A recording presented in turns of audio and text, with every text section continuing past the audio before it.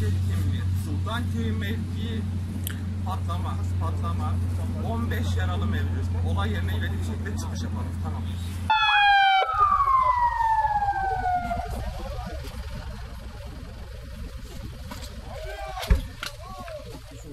Hadi arkadaşlar.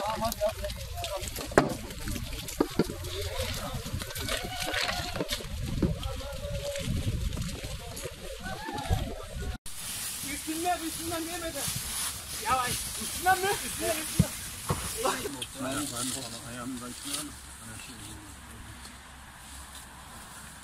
Biraz daha ortalasın.